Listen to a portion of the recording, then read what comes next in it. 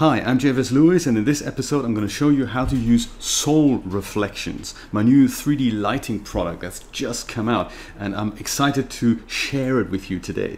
So, the idea behind it is I kept playing around with the eye reflections that I've been talking about in my last two videos, and there's a lot of community interaction, and I, I thought that was very exciting. So, I played around with the idea of eye reflections so much that I thought, hey, I'm going to put a whole product together and um, and this is it and this is how you use it so here's the mad professor's thoughts as to you know this is what what this is how it's meant to be used Let's take a look at it. It's uh, only available for DAZ Studio for the Iray rendering engine right now. And this is what it looks like once it's installed. So it comes up in the content library tab and uh, either in your DAZ 3D library under light presets if you've installed it there or in my case I've actually installed it into a separate runtime library which is just uh, Soul Reflections and there it also comes up in light presets. There it is. And we can see the moment you go in, you, you see four little shortcuts here. I'm going to talk about more of that later here. So headlamp on and off and IBL on and off. Under that we have four folders, so we have bulge settings, which again, those are kind of shortcuts that you can dial in. And then we have the three main folders, which is close-up, medium, and wide. And what those three folders are, they will bring in cameras with parented 2D shapes and if you hover over them you get a larger preview over what these shapes look like. And each of these shapes they sit just behind the camera and they emit light. And if that's close enough to the character then those shapes will reflect in your character's eyes. I'm going to show you how to use that in a moment Bulge settings is something that, depending if your character supports it, will bulge the cornea of the character more or less. I'm going to give you three shortcuts for each character that supports it. So Genesis 1, Genesis 2 female, Genesis 2 male didn't have that setting. Genesis 3 male and female and Genesis 8 of course. The, these, these settings for Genesis 8 they're there for both male and female characters. It kind of uses the same um, setting there. And uh, there's the 0, 100 and 50%. So you can try out if that enhances the effect that you're after. No obligation, of course. Let's start with the close-up here. They're all technically the same thing, but the settings for how much emission comes out of each 2D shape is going to be a little bit different. That's why I give you the same thing in close-up, medium and wide shots. Let's bring in the cash flash close here, double click on that, and then you'll see what happens here. So we can see that these three cash dollar signs have now been brought in. And if you spin around, you can see how that setup works. So we have the camera and to it parented is this 2D shape and that's a light emitting shape.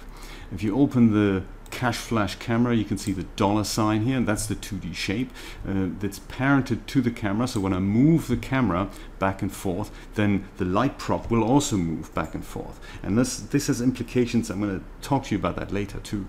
So what you can do now is you can switch your perspective view over to the cash flash camera and then we'll see kind of a dark picture. Not exactly what we want, and I did this because I switched off the headlamp camera by default. To see that better, let's head over to the Soul Reflections main folder and with the camera selected in the Scene tab, uh, double click the headlamp on shortcut and that'll switch our headlamp on. So now we can see our character, we can pose the close-up a little bit better. Avoid zooming in and out at this point because if you do that, it'll change the light intensity that the 2D light prop has. So just pan for now, either with this icon or with a shortcut here and see how that works for you. We're going to give our character a little bit of an expression. This is Ethel, by the way, by Fred Winkler. And with her head selected, let's head over to the Parameters tab under Pose Controls. I'm sure we're going to find an expression. So if it's dollar signs, and perhaps she's uh, she's just got uh, cracked jackpot in Vegas. So let's give her some excitement and perhaps some happiness. Uh, that should that should kind of convey what we're trying to tell in the story here. That should do it. Again, once again, with the camera selected, if you want to see the real result, head over back to the Soul Reflections shortcuts and switch off the camera's headlamp because otherwise that will interfere with the actual outcome. Speaking of shortcuts, there's also shortcuts to switch on and off the IBL. Now, if you start a brand new scene in DAZ Studio, it'll always come up with the IBL intact and in place. And what this uh, shortcut does it, it can switch it on and off for you. So this is equivalent to heading over to your render settings into the environment tab and switching the environment map to zero. That's exactly what that shortcut does. It doesn't touch any of the other rendering settings, it just does this. And uh, I, I, find myself switching that off quite a lot. So if I do that, and we can have a look at the environment map, it's now set to zero. That's exactly what that does. And if you want to render with IBL, you can easily switch that back on again. So with all that in place, let's just switch over to the Iray viewport here and we'll see what our preview looks like. There we go, it takes a little bit of time for us to actually see the reflections clearly, but you can see what's going on here. So we have a kind of a flash from the front and uh, it doesn't give us much shadow from the left or the right, but this is kind of set up so that it'll work with the intensity on the close-up. If you're not quite happy with that, if you want that to be either lighter or darker, then you can select the 2D shape prop here, in our case it's a dollar sign, and head over to the Surfaces tab under the Editor tab here. Open that thing up here until you find that dollar flash or whatever 2D shape surface you find.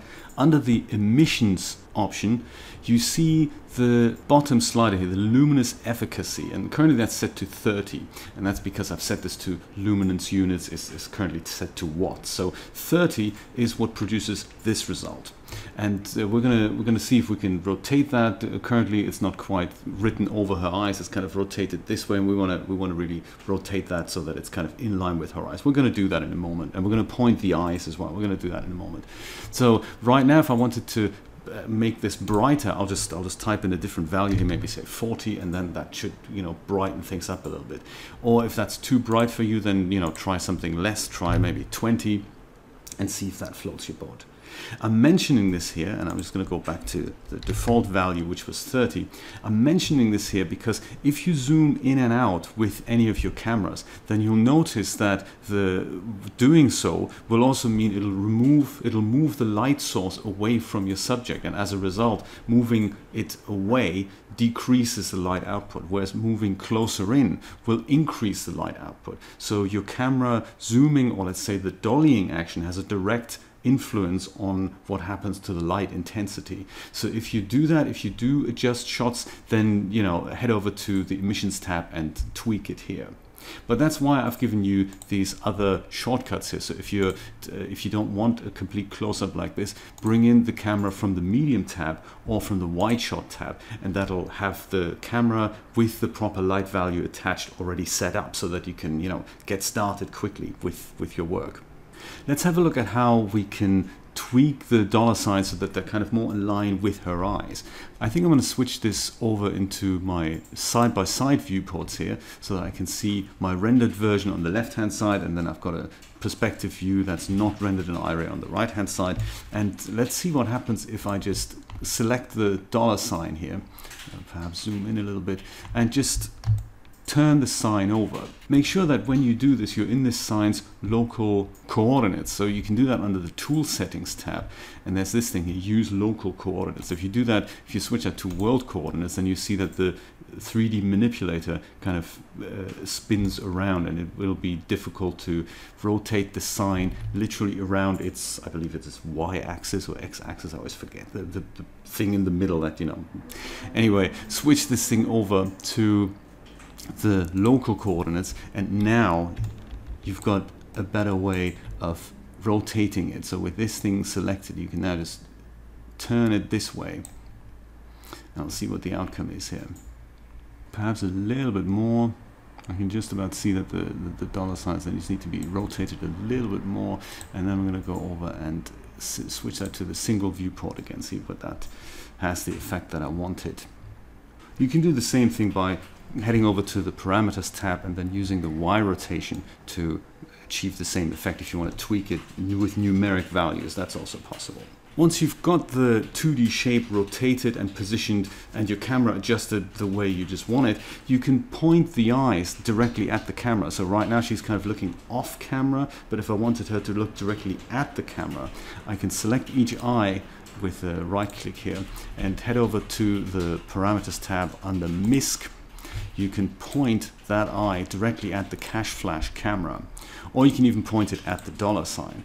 Let's try the camera first and apparently nothing seems to happen but it's because there's a tiny little bug in DAZ Studio that doesn't show this thing up instantly. And what we have to do sadly is with the camera selected we just have to move the camera a little bit. And just a tiny bit means the eyes once they're pointed will pop into position just like this. So that's the result. So now what I can do is no matter what I do with my camera the eyes will always point directly at my camera.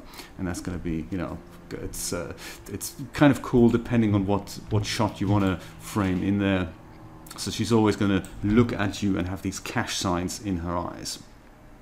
And that's one way of doing it. Another idea is if you wanted the character to look off camera but you're not quite sure how you need to turn the eyes so you can either turn the eyes with parameters with numeric values or you could just uh, if I just point her if I just twist her head slightly over here again she's now still going to look at the camera but if I wanted her to look off camera I can again select the eyes and under MISC I can now point the eyes not at the camera but at the dollar sign. So that's another possibility.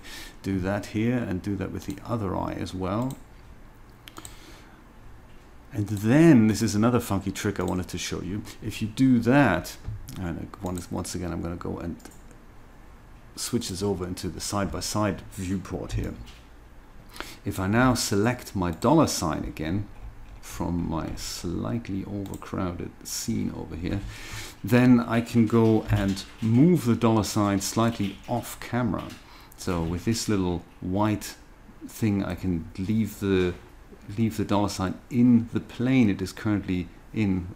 Just make sure that it isn't going to obscure the camera's viewport but as soon as you do that you can see that her eyes are now following the dollar sign and that means wherever you point the dollar sign, this is what she's going to be looking at. So this is something, it's just another trick to keep in mind that if you wanted to experiment a little bit, you can even turn the sign a little bit into the X direction and then just play around with this. This is something else that you can explore and, and see if that's, um, if that's something that gives your images just that look that you're looking for.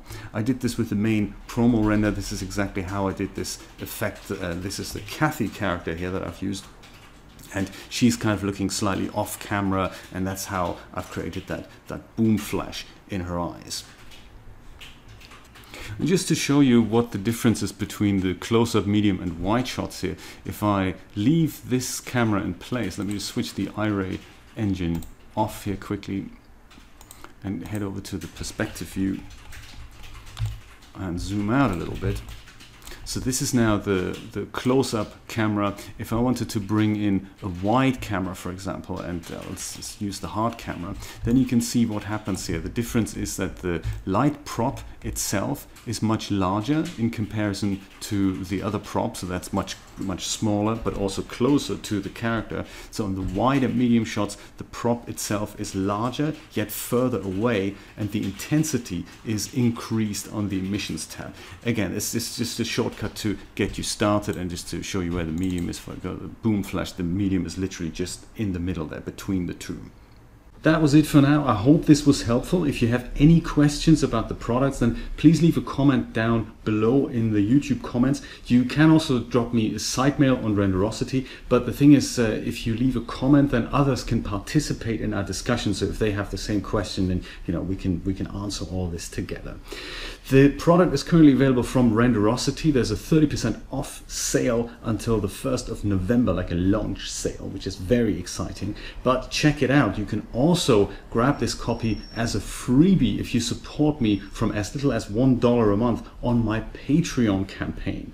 And the thing is, the, I can see so much potential for this product that we haven't even explored what happens with other shapes or textures yet. Biscuits and I are working on a way of perhaps making this product available inside Poser. So, you know, very exciting things happening there.